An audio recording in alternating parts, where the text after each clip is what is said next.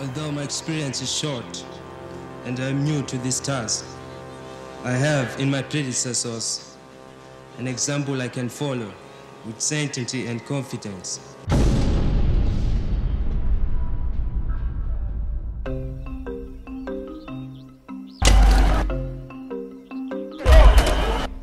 bangaki laba labete batali babo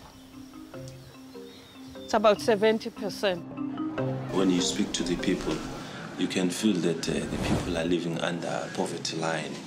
Uh, and then you see sometimes that uh, you wish to help them, but uh, funds are always uh, not enough. You're not going to find multiple bodies dead on the street. Yes, it is violent. Yes, it is brutal. But where the real control is actually exercised is in more subtle ways. Swazi tradition is being used to manipulate the unsuspecting population of this country. It's a way of showing their respect and showing love uh, to their king and to their country. He is kind of a role model. For him to have many wives, it makes us feel comfortable to have many wives.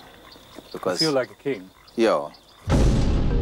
You find large expenditure going to the army and to the other security forces. You begin to think that perhaps the army, more than protecting the state, is, is being used to actually put down any dissent internally. We have been born out of a society that encourages you not to challenge, not to question, don't be problematic. Then you will survive. We seek a constitutional multi-party democracy that is deepened within the wishes of the majority and the people of Swaziland.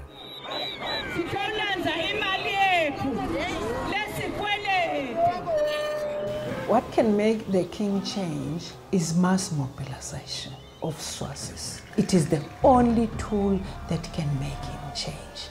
The tool of imparting information.